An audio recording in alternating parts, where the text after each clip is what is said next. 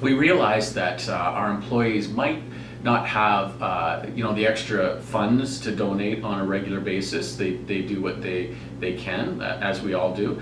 Um, but we thought it would be really uh, a really cool thing to do to give our employees days off. Uh, so everyone in the organization can take two days off paid uh, to engage in something uh, community-based or charitable-based or philanthropic. So um, a lot of times money isn't a resource they have and of course they work during the day, their weekends are packed with their families and evenings are packed. So time is another valuable resource that they can give. So we uh, we allow our employees to take two days off per year. And again, it started with one, it's grown to two. Who knows where it'll go? Uh, I'd like to be in a position where everyone can take a week off a year to do something uh, community-based or, or charitable-based. So uh, again, it's starting somewhere.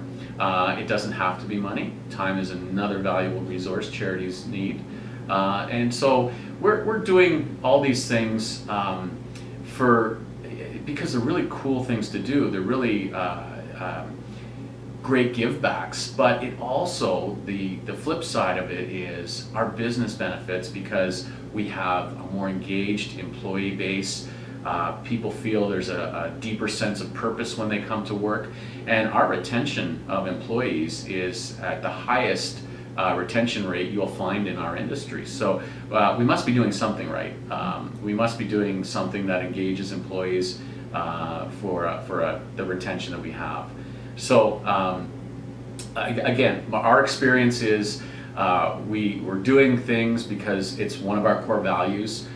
we are an integral part of our community. Striving to make a positive impact where we work and live is one of our core values. And um, we connect that uh, and we live that and it's it's part of our DNA.